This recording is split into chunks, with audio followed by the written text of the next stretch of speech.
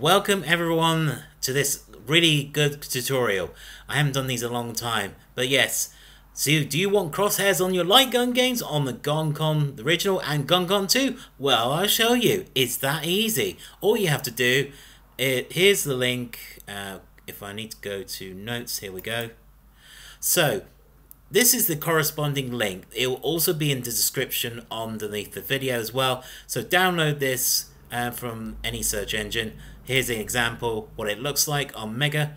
So download the Crosshairs pack and once you got it on installed on your desktop, unzip it of course and then this is the folder you'll get. Open it up and this is where you get all the crosshairs. And I also got some two custom ones as well to show you as well how you use that as well. Some of them actually uh, scaled too big, but I will show you a simple trick how to get it shrinking down the wash if it were.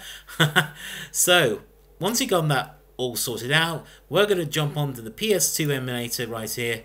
And we're going to go the setting. Actually, we'll play this game first so you'll see the crosshair. This is the crosshair on your screen. Now, if you want to enable it, guys, go to settings, go to controllers, go to this uh, USB 1 port, GunCon 2, so it'll be on the side, so it'll be not connected the first time, so go to GunCon 2, set up your bindings for your triggers and then off screen. Um, this is a very important note, guys. For the calibration shot for the beginning of the screens of all light gun games on Namco's games, you can press the spacebar once and that will bypass, uh, or should we say, realign the, the, uh, crosshairs on your screen. Uh, I would suggest you experiment with your mappings as well if you like. Um, now, if we want to put a different crosshair on this, you go to cursor path right here and then browse. So we want to go to my desktop here, crosshairs, open this, let's put gold on this, and that will be all done. Then close. Voila, voila, there you go. Now, this is the screen uh, for the GunCon 2. Press the spacebar and it should go bang, like that. And then bypass, press A button or B button. Same on your actual like gun controller. And there you go, guys. So um, I'll show you a little example of gameplay using the cursor on the screen. But yes, right, here we go. Shoot, shoot, and it's fantastic. Now, here's a really cool trick. Now, say you want a custom cursor, or should we say, it's not a custom cursor, I meant to say a custom crosshair. Um, I actually downloaded these two here, but I'll show you, it actually blows up too big, but there's a trick to this. So, settings, go to controllers. Now, go to this, settings, of course, go to path, and then go to desktop, and boom, open, and then close.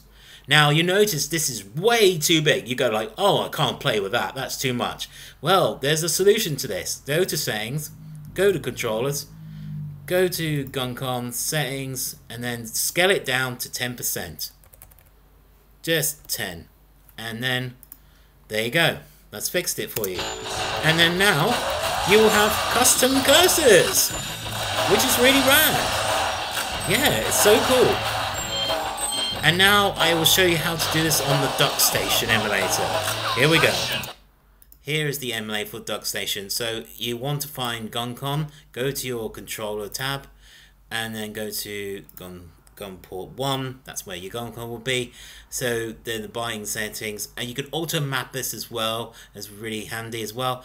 Um, however for the spacebar you just press the spacebar like normal on the PS PS2 emulator like this one.